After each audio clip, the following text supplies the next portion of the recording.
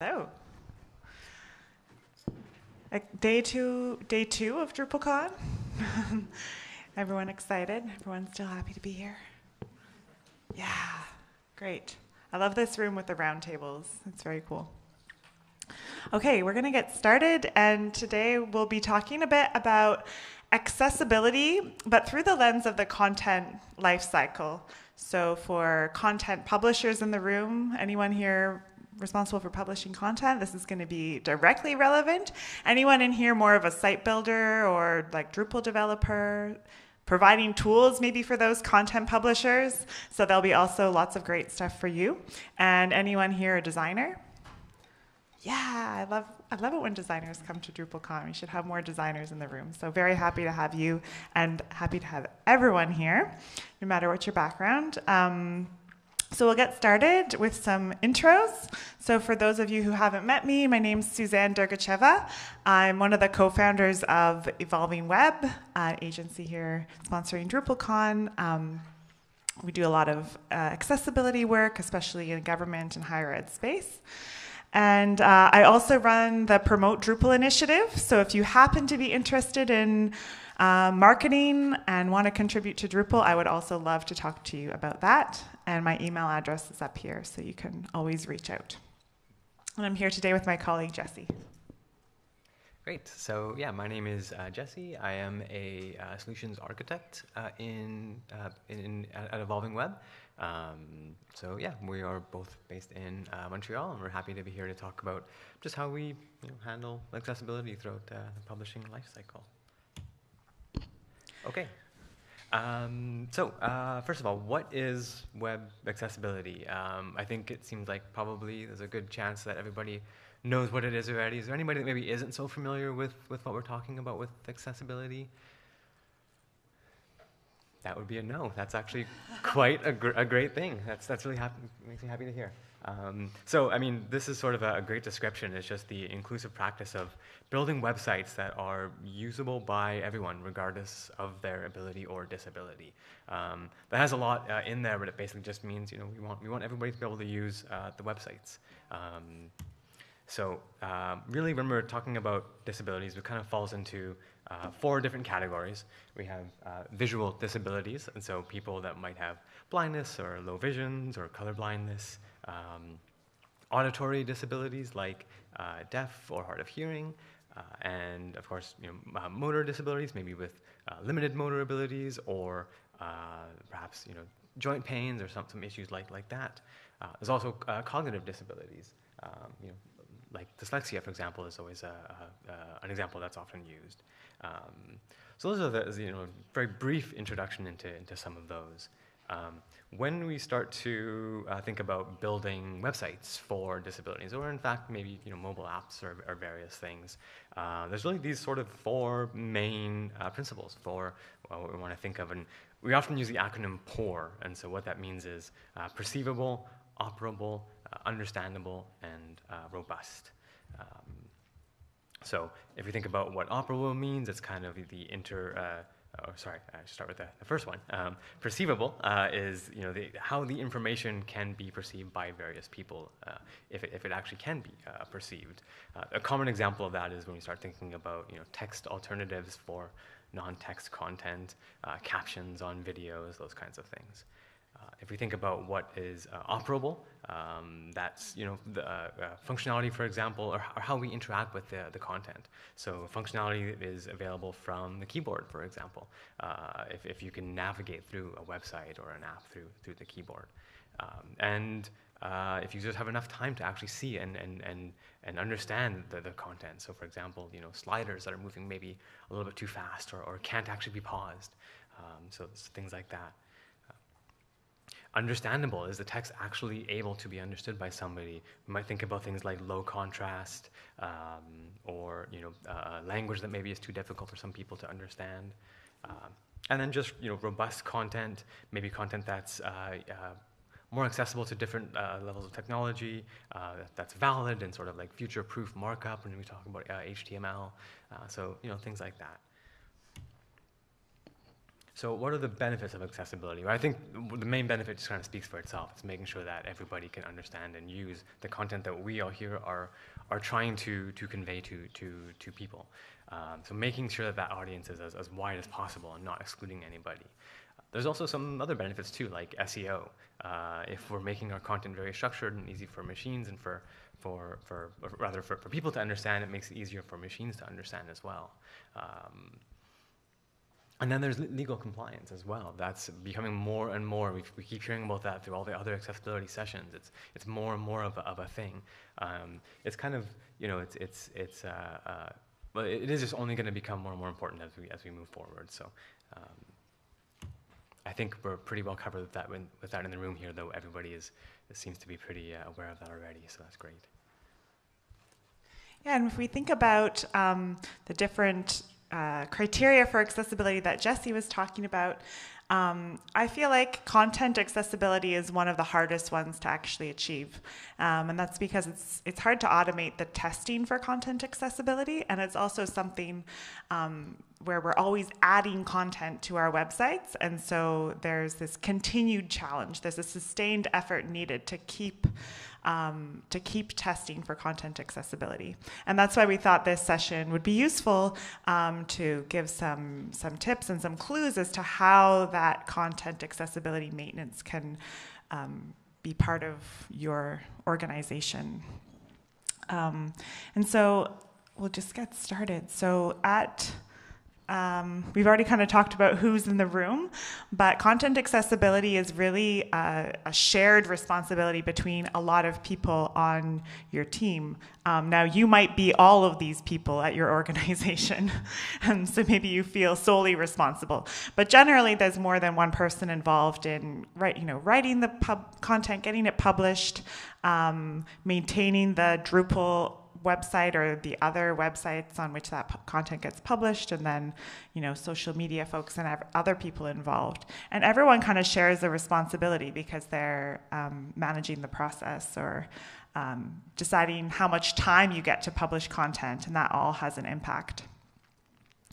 So I've, um, or Jesse and I have kind of organized the session into these different steps of a content publishing cycle. Now, your exact content publishing cycle is probably different from this, um, but hopefully there's enough resemblance that you'll be able to get something out of this, that there'll be some of the steps that are similar to your steps.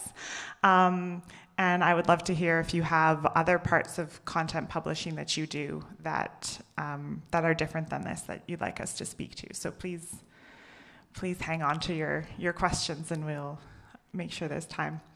Um, so to start off, um, content might start with somebody asking for the content to be written. And sometimes this is done more informally, but sometimes there's an official content brief written. Um, uh, you might also have a template for content that you have somewhere. Does anyone here use content briefs? Or maybe you have some kind of a, a, Google Doc template for certain types of content that outlines here's how it should be written. You know, he, we always need to have a title and some tags and the body text. Um, your content might not start off on the you know on the Drupal website itself. Somebody might be writing it in another in, another platform. Um, and in any case, there's probably some kind of request going out about the content. And even at that stage, um, it's it's interesting how accessibility plays a role. Like if you're asking someone to write content, maybe at that point even we need to be reminding them that this content needs to be accessible. So when you're writing the title, when you're um, structuring the content, um, and even when you're deciding who the audience is and what reading level you want to write for, um, that is all going to play into the eventual accessibility. So if you're using templates for writing content, if you're using content briefs, um, just you know, hinting at the fact that accessibility needs to play a role at this stage can save you time later on in the publishing um, life cycle. Um, you can also use this opportunity to link to things like style guides or, or templates that you're using, um, and those should also include your accessibility guidelines.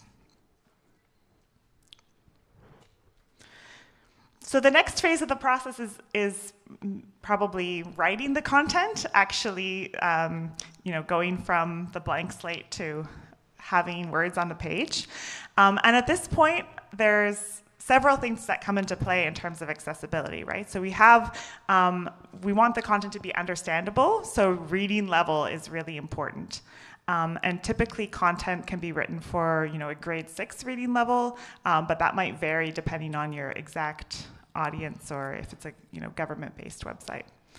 Um, we also want to be thinking right away about heading structure. Heading structure has an incredible impact on how people navigate and skim through your content.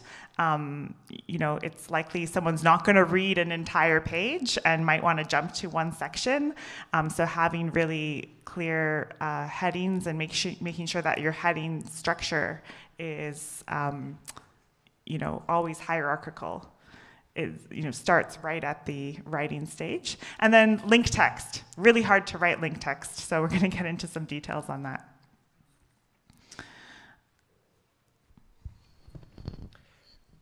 Okay, and uh, with respect, you know, Suzanne mentioned about about the reading levels and how you know we can um, basically make content so that it is uh, again understandable, readable uh, by certain uh, audiences, and so um, it you know the the the exact needs might end up depending on.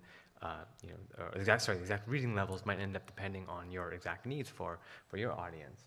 Uh, but you in, in a lot of cases, if you're dealing with you know public institutions, those kinds of websites, it might be that we're looking for a, a grade eight uh, uh, level of, of reading. Uh, yeah.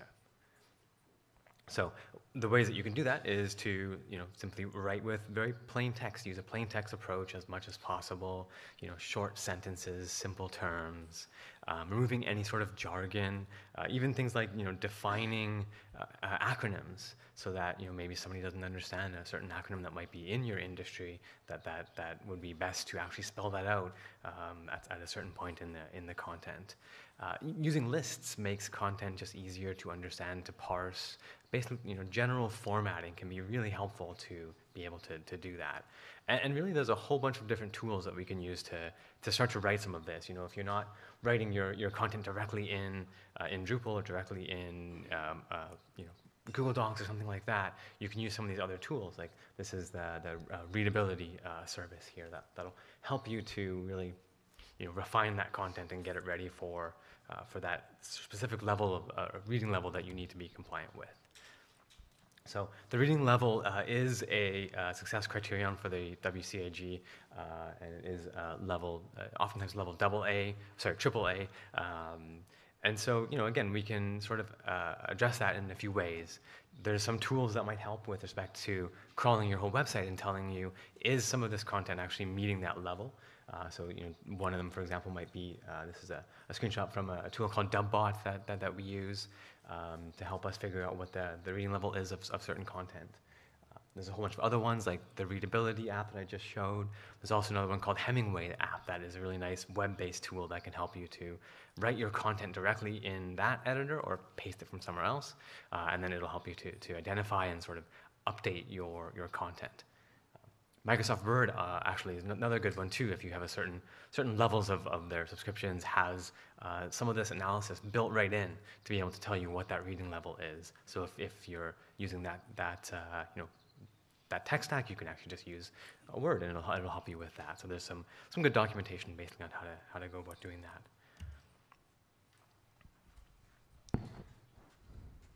So an interesting thing about um, heading structure is that it, it turns out that heading structure is one of the main ways that screen reader users navigate through websites.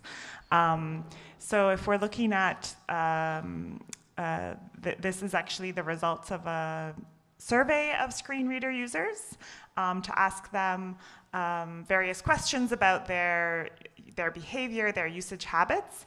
Um, and one of the questions is about, you know, how do you navigate a page that's very lengthy?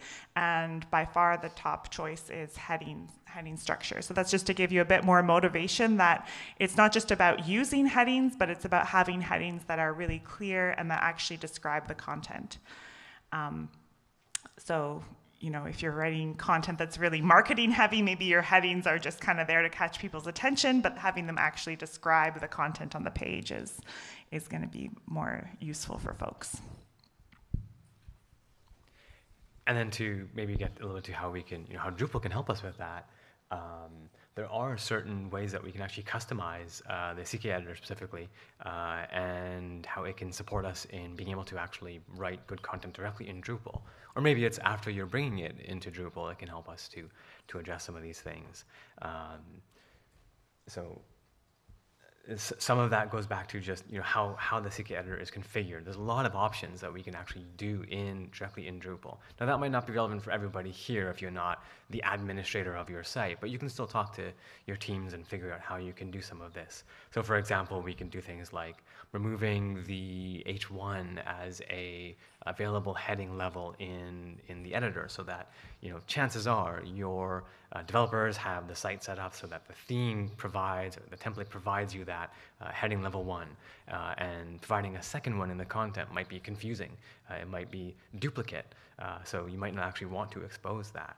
Um, there's also you know different ways that we can create additional styles uh, in CK Editor so that somebody can use the the, the, the right formatting can, can the editor can provide those controls to give the right formatting and not you know in, encourage the use of, of the wrong uh, markup or the wrong uh, content structure in there.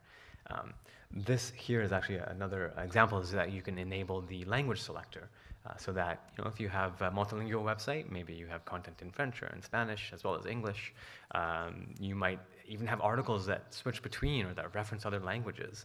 Uh, that would be quite confusing to somebody if all of a sudden it just switches to another language in a screen reader. So you can actually designate that content as being in another language. Uh, so that's a, a, helpful one. And all, a lot of this is built, some of this is built right in already. That language panel, I believe, was, is actually already available in uh, in Drupal, you just need to actually add it to your CK Editor toolbar. Another way that you know, Suzanne mentioned earlier about link text, that is another way to, of course, to navigate around your page, but also um, a way to navigate to other pages. Um, so what somebody is navigating to is kind of going to be a good question if they are using the keyboard to navigate your website and land on a link that says read more. Uh, and then the next link might also say read more, and the next one, and the next one. Um, so it gets kind of difficult for somebody who's navigating around your website to understand what they're going to be navigating to if a link simply just says read more. Um, some of that might be a bit more, you know, on the maybe in the back end for the developers to solve in the in the templating of the site. But it's also important to keep that in mind when writing your content that that link might be all that somebody is going to see and understand um, of your of, of, the, of the website, that link text. Um, so if it's not descriptive of where they're actually going to go to, it's going to be very confusing. Uh, so it's something to keep in mind in the, in the writing phase and then when you're actually adding the links in the content, that that link uh, should be very descriptive in terms of where somebody is going to.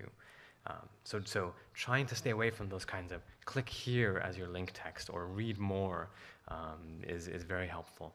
Uh, and, and similarly, even when, you're, when it's going to download a file, if you're linking to uh, PDF, for example, um, indicating that that's going to happen will help somebody to not get confused when all of a sudden the website pops up a, a, you know, something that they weren't expecting. And for those who aren't familiar with what you're seeing on the, the, the screen here, um, this is showing us if you're using a screen reader and you decide you want to uh, be able to get a list of all the links on the page. It's one of the common ways to navigate through a site is just, you know, tell me what all the links are, and it will read through all the links on the page. And so if you, uh, what you're seeing here is kind of a, a visual um, version of what gets read out by the screen reader. And on this sample website that we found, you know, there's um, a few links that maybe are understandable, and after that we just have read more, read more, read more, which is obviously not useful for the person to figure out what link makes most sense to click on. And so when you are maybe creating some of this content, um, there's various ways that you can look at how this is, how this has been set up, if it's accurate, if it's going to be useful. Uh, so there's various tools that you can use. One of the probably the best ones for analyzing link text is called Wave. Uh, it's a browser extension that you can install just in your browser, uh, and it will analyze your page for you, just like you see here, and show you uh, if some of those links are, are, have suspicious link text, as they call it. Um, so we can see that it just says read more, uh, and that's that's not going to be enough. Uh, that's a, a, button that was probably added in the template of that of that uh, of that website. Um, so wh what I'm showing here also is basically how we might handle that, you know, from a developer uh, mindset, or um, you know, just when you go into the sort of view source mode of the CK editor, you can actually add some. There's different ways of doing this, but we can add some uh, hidden text basically to help explain where somebody's going, uh, such that it won't necessarily affect the visual uh, layout of the page. So we don't want, you know, we want a, a nice clean button for, uh, for on the visuals of the, of the page, but we also want to tell somebody who maybe can't interpret those visuals uh, where they're going to go. Uh, so we can do that with just a little bit of simple HTML. So if it's something that, you know, in a certain part of your life cycle, you might need to involve a developer to help you add that in, or maybe they can give you some additional tools to help you do that as well.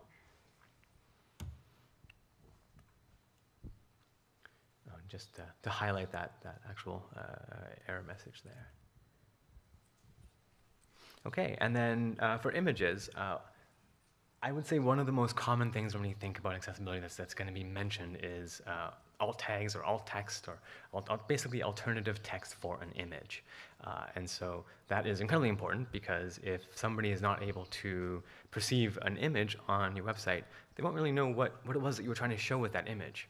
Uh, so it's, it's again important to if you're adding an image into your content to add that that alt text. And in most cases Drupal's already configured to require that um, and that can be you know uh, both both good and bad. Um, there are some cases where you actually don't want uh, alternative text if it's duplicated if it's just a an image that doesn't actually there's just a decorative uh, so there's some you know some nuance in there. But in general do consider adding uh, you know, alt text to your images as you're adding it in. That's probably a good thing to also consider earlier on when you're actually writing the content. Again, that can be part of the content uh, brief. I think it's one thing we often get hung up on on content publishing cycles is uh, oh yeah, someone has to find the right image to use, and knowing in advance, like, is this image actually supposed to be part of the content, or is it serve as a decorative image, or is it a background image that has to have certain um, contrast uh, considerations? This can be kind of part of what you ask for when you're defining what the content needs to be. Yeah, so and, and, and there are those few special cases that I that I was mentioning there um, a, an image that is purely decorative. Maybe it's just an icon that doesn't actually, you know, convey anything in the content. Uh, we actually want to just leave, you know, in the in the underlying code for that image, we just want to leave the alternative text basically as empty. Uh, we don't want to actually exclude the alternative text. We want to say it's specifically, explicitly empty. Uh, and that way, you know, the, a screen reader, for example, will know that this isn't something that's necessary to read out. Otherwise, it might do something um, really unfortunate, like maybe reading out the file name, which probably doesn't make a whole lot of sense. Um, also, avoiding having text inside images um, that oftentimes can, you know, somebody who can't perceive the image won't be able to perceive that text in there. Also, it gets really difficult with contrast as well. Uh, if it's text on top of an image, oftentimes that image has varying levels of contrast with the background and, and whatnot. So just simply, you know, trying to avoid that where you, where you can is oftentimes the, the, the better approach for that. The other big special case is around more complex images. So for example, for a chart uh, it might be really hard to write an alternative, uh, you know, a, a, concise alternative text for a chart like this. Uh, and so again, this is somewhere where maybe a developer might be able to help with crafting the right uh, uh, markup for your post, but you can actually add then what we know as, as, like a caption, and you can describe it in a little more detail, which will be helpful to probably to everybody using your website, not just for those that need that extra description. Um, you would still need the actual alternative text just to say something more simple, but uh, you know, you can go into much more detail in that caption where you can really start to, to add a lot more content in there. And then even in some cases, linking to another web page that might have more detail around that, uh, that might provide a lot more context for people that, that really need that. This, the, by default, the CK editor does give you that ability to add a caption, at least in, in Drupal 10. So that's already there. You just have to know to basically to use it. Uh, so hopefully now you, you do if you, if you didn't already. And just to add to that, if you ever have uh, an image field on a certain type of content where you're always going to have some kind of diagram or graph that needs more explanation, then you can build that right into the media type itself, right? So you can have a field on your diagram image that's, um, you know, uh, details or, you know, uh, source source data um, that's going to allow you to link to that information that's actually fueling a or you know powering a, a graph like this. Okay, and so let's say now we have all of our content uh, uploaded into the website, um, and we want to test it now. We, we, think we've done everything, but now it's time to actually test it. So uh, there's a couple of other tools that we've already kind of mentioned, like Wave might be helpful here. Uh, there's some others like uh, Axe uh, Dev Tools uh, for, again, another browser extension that you can install. Um, there's also some tools that we like to use that help us to basically crawl the entire website so that we can look at things more holistically, which is good also for you know longer term monitoring too. As content is changing, new content's being added or updated. Uh, using some of these tools will help to notify you maybe if something got updated later and wasn't done so just in the right way. Um, so we use a whole bunch of them. Uh, we do use for that we use these two uh, specifically, uh, DubBot and, and SortSite. Um, we find that it is always helpful to use multiple tools because they do oftentimes have specific focuses or um, strengths in certain areas. So we do kind of you know, go back and forth between the, the, the, tools that we use, and it's pretty helpful. Some will surface some things, and some, you know, some will, will surface others. Um, so it's kind of unfortunate, but not every tool is gonna is gonna catch everything in this in this sense.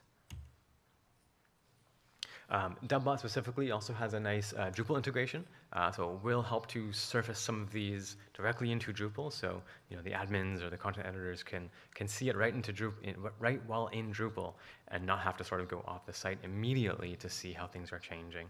Uh, so it's it's a nice report. Uh, it will then basically take you into DubBot to get a little bit deeper into some of the, the content. But it's nice to have that right in one spot, and you can see if there's any new errors that are popping up as your content is, is shifting. Okay, so um, I'll move on to talk a little bit about um, a having a style guide for your website. Um, so even as a uh, you know content publisher who's maybe not the designer on the project, it's still really useful for you to have an awareness of your style guide because often you're having to make choices um, about images that get used that actually introduce a, a, color into the site. Sometimes you're embedding a form from somewhere else where maybe there's styles that have been applied. Um, and so knowing about your style guide and making sure that you have enough contrast always between um, between text and background colors uh, is always good, just kind of knowing the best practices. Who, who here, when they're publishing content, also do you have um, options around the styling of the content? Some of you. I know sometimes we're um, asked to, you know, create components that are really flexible in terms of styling. Like you can go in and pick the background color of, of a component. Um, and it's not even just a matter of like, oh, pick between two or three options, but rather here's a color wheel.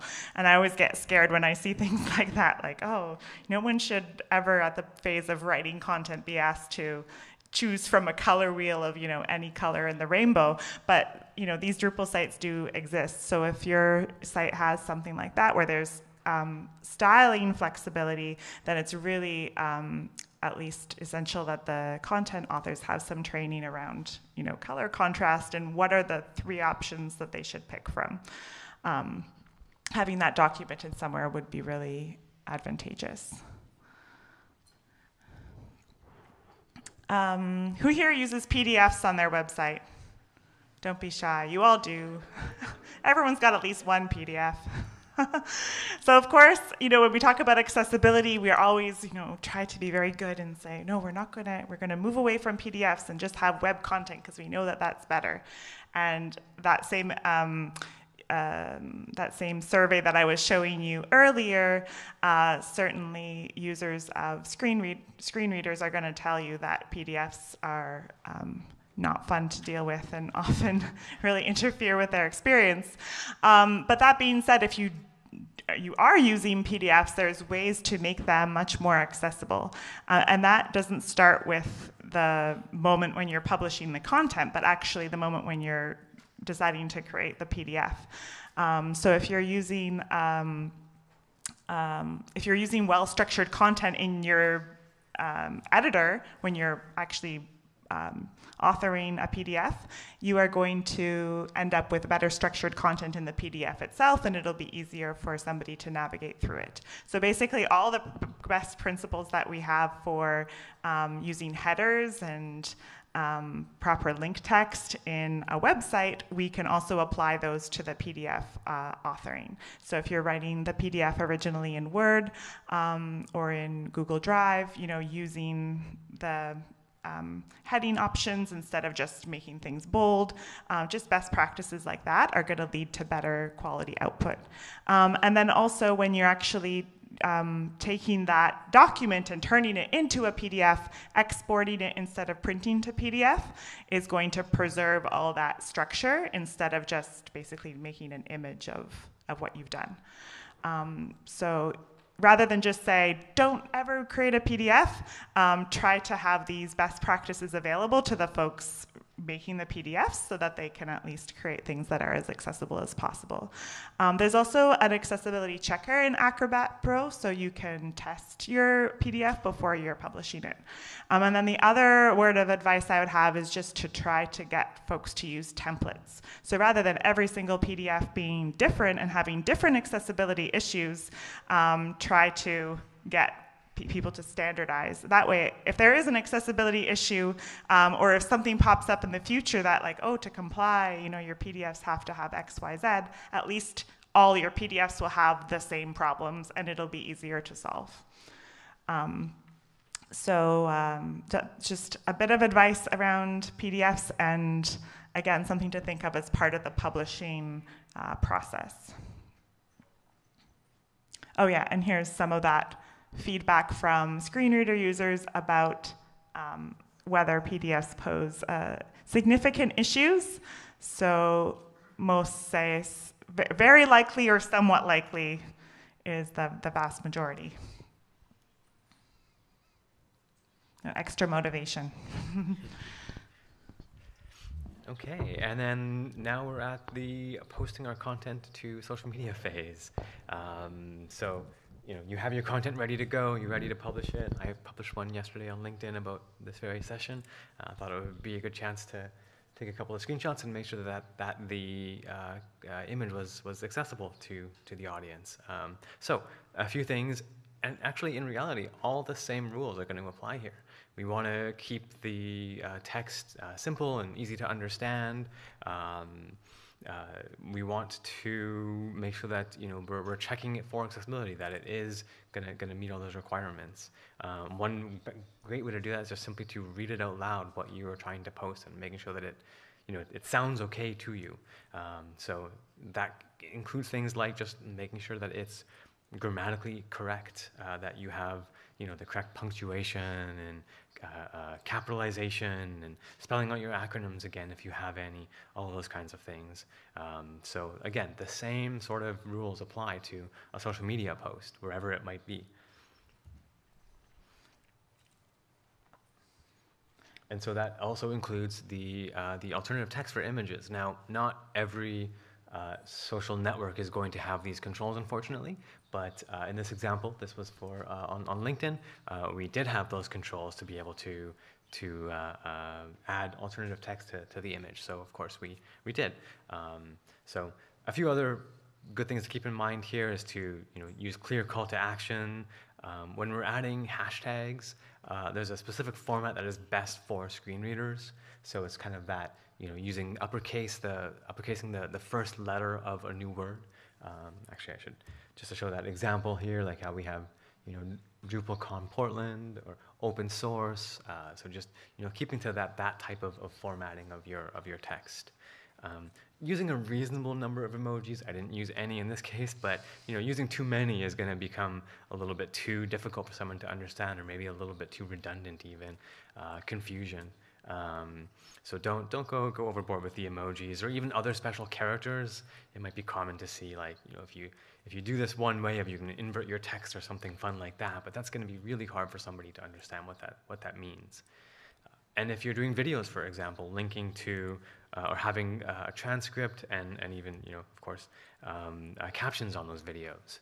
Um, so making sure that those captions are available depending, again, on the social network. If it's uh, YouTube uh, and LinkedIn, they actually, they'll both give you automatic uh, captioning.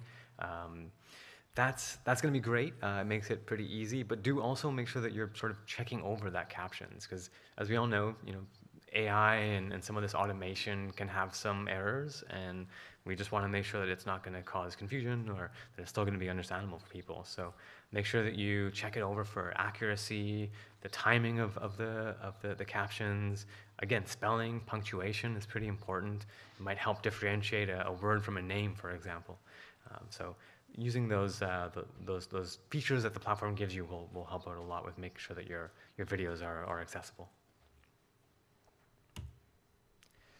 So, one of the main takeaways that I hope you've gotten from what we've presented today is that um, having this holistic approach to accessible content and really thinking about the whole life cycle, but also all the people involved in those different steps of the life cycle, is going to give you better results than just having one person who's the expert of accessibility and who's holding all that knowledge in their head. Um, really seeing accessibility as something that's part of your organizational culture, um, something that you're not afraid to teach your colleagues about.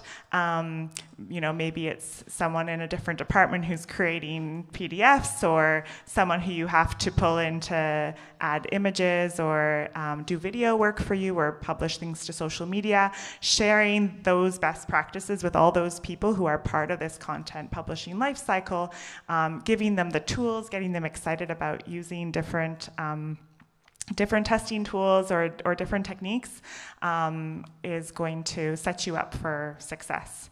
Um, and so I, I feel like the more that I work in this space, the more people I find who are motivated by accessibility and who want to learn. Um, so I think I'm probably preaching a bit to the choir here, but um, just seeing it as something that you can also spread to other colleagues on, on your team, I think is really the best way to think about it. Um, so, just before we open it up to questions, uh, we wanted to share uh, that Evolving Web uh, organizes lots of Drupal events. We have a couple coming up, one in Montreal in June and one in New York in September. Um, so if you love this experience at DrupalCon and you like sessions like this and you want to learn more and share what you're learning, um, we'd love to see you at those events. Um, and again, you can also always reach out to me if you have any questions. Um, and with that, we can open it up for questions or comments, or we'd love to hear also about tools and things that you're using, anything that we didn't mention. Um, would love to hear from folks in the crowd. Yes.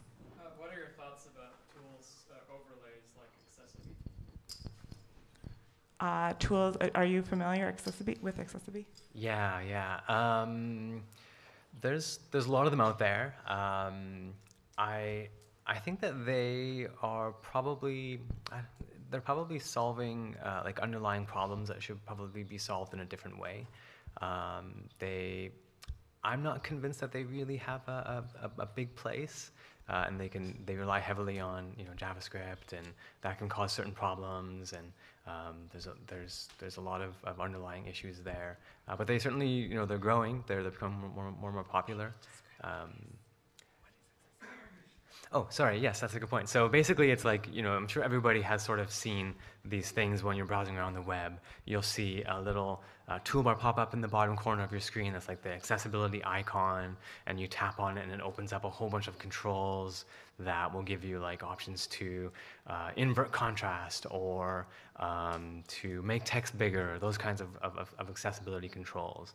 Um, and so th there's uh, the, the one in, the question was about accessiBe. Um, there's uh, a, a, whole bunch of other ones, um, think, uh, maybe ReachDeck or, uh, or some other ones off the top of my head.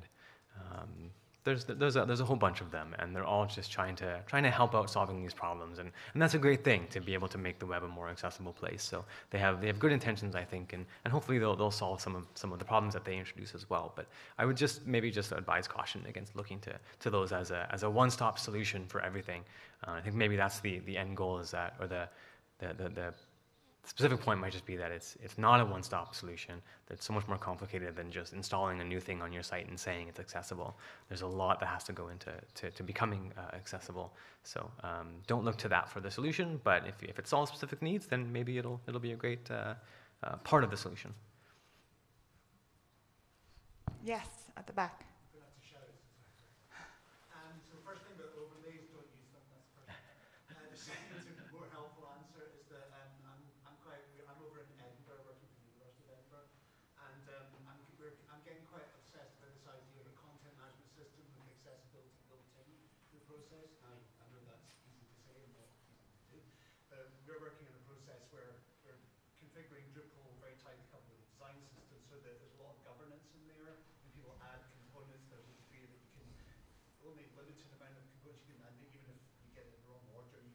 Mm-hmm. supporting the design system. So that's not out of the box, but you can maybe sort of like when you're doing projects, you can try and put a lot of governance using tools like Drupal to try and put a lot of content governance into the process and use things like paragraphs to try and you know, make it a more consistent process. So you can try and build accessibility into the content management system. A hundred percent, yeah. basically just trying to popularize Yeah, and sorry, what's your name? John Lockhart. At, uh, from University of Edinburgh. So just to kind of um, echo what you're saying uh, and to put it on the recording in case folks are listening, um, there's this idea that instead of content publishers having to know so much about accessibility, it would be great if the content management system would just take care of, it, of that. And that becomes easier the more that you use structured content and fields and components that uh, you know are asking you for the information instead of giving you a WYSIWYG editor, are asking for specific fields, and then it takes care of it on the template side. Okay, I'm going to put these fields into a into uh, HTML that is already accessible. Um, places where I see this being really important are things like, um, you know, having complete, giving the content author complete flexibility over the order of components on a page can be a really big problem if the first component on the page has to have an H1 and somebody says, oh, I'm going to drag the hero down to the bottom of the page and then the H1's in the wrong spot. Um, so sometimes as people building the CMS, which a lot of us here are, are doing, we have to think ahead and say, okay, well, actually, you can't change where that component is going to be, or it's not going to be the same kind of, it's not going to be the same kind of drag and drop component. It's going to be a fixed set of fields at the top of the page. So that type of thing is the thing we have to think through when we're building a CMS. At the same time, there are things in this presentation about like, you know, writing a link text within the the um, content of an article, um, which I, I think it's going to be very hard to get your CMS to do for you. Um, I'm excited about things like AI tools that might AI tools that might flag issues like that with your content and tell you like, oh, the link text that you put really makes no sense if you take it out of context. Um, but in the meantime, yeah, like there's still there's still some part of this that content folks have to to think about. But I, I love the idea of just doing it more through the CMS. Trust no one. yeah, and the other um, uh, the other module that we should um, add to our presentation is Editoria11y, which was developed, I believe, by Princeton University, and um, is a great tool for content editors that you can install just as a, mo- a free module. Uh, there's a question here.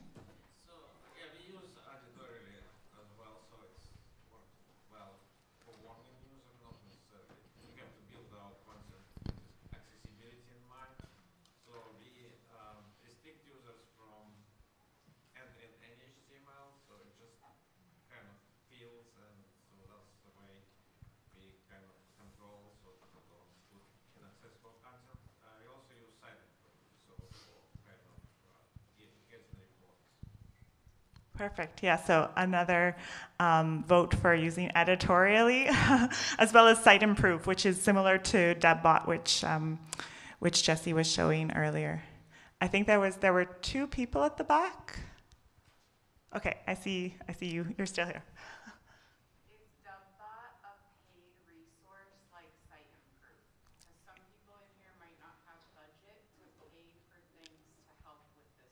Absolutely, yeah. So DubBot, you know more about the details than I do, actually. Yeah, yeah. So the question was if if DubBot is a uh, paid uh, service, and uh, indeed it is. Um, I don't know exactly the the, the pricing model, um, but uh, if I remember correctly, it's not quite as uh, as expensive as say something like Siteimprove, um, but it is it is definitely a paid uh, service. Um, so it, it you know provides a lot of features that, that I think justify some of that, but it is yeah it is definitely a paid service. And in general, what you're going to find is that if you're looking for something that's going to just give you is this page accessible, um, like a page by page kind of audit, um, you're going to be able to find lots of free tools that do that, and even Siteimprove has a, uh, a free tool to just assess the page you're on. Um, but if you're looking for something that's going to run more of a full scale, look at every single page on my site and give me um, uh, you know results of how accessible is this and then monitor that over time and show you progress those are the types of auditing tools that you're going to end up uh, paying for because it's handling more content and has that kind of organizational memory that people are looking for when they're trying to show their boss, oh, I'm making progress with the accessibility. You know, we're up to from 70 to 90 percent. Um, that's what you pay for. Yeah, and so for the in terms of the the more free solutions, I would definitely recommend. I mean, Editoria11y, but also uh, Wave and Axe are the two browser extensions that will look at the individual page that, that you're visiting.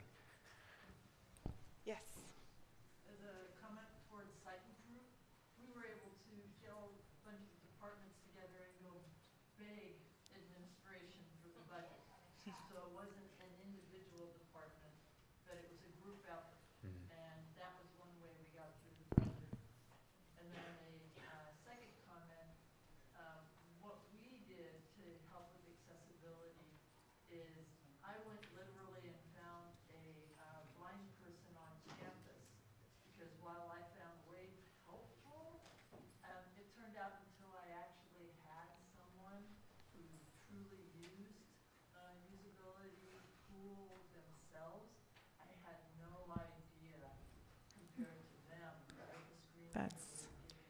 That's great. Yeah. So two two comments. I'll just um, I'll just echo and add to them. So first, pool your resources to pay for stuff like Siteimprove. That's a great tip. Um, with different maybe different departments get together to get a subscription. Um, and the other thing is around actually getting users with disabilities to to help you with testing. I know that's not always um, feasible, um, but definitely uh, from my experience finding a friend with a severe vision impairment really gave me this interesting insight that I want to share.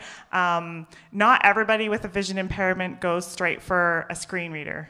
Um, you might already know this, um, but a lot of people have a vision impairment that they can they can still see, but they really cannot see as well as you you might assume. And so when they are not going to use a screen reader, it's going to be easier for them to actually use the view the page, but maybe use something like a magnifier or other tools to really zoom in on the content. And so they're using the website in a way that we might not, um, you know, expect or predict. Um, and so they're they're benefiting from a lot of the accessibility best practices like high contrast or um, having the zooming of of uh, of typography work, scaling of typography work really well, or having elements that are in close proximity when they're related.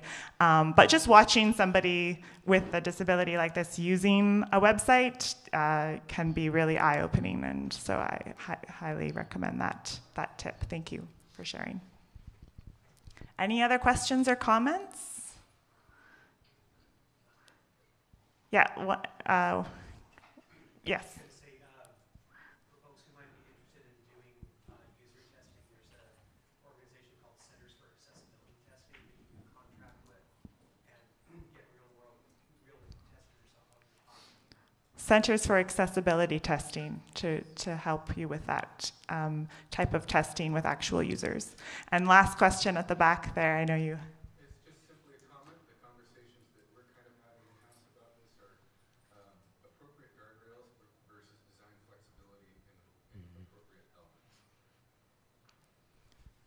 Yeah, so um, appropriate, uh, maybe- appropriate guardrails versus design flexibility, striking the right balance. This is uh, always, always the biggest challenge. So um, glad we're having this conversation. And um, thanks everyone for participating. Thanks for all the great questions. And feel free to come up and chat with us more.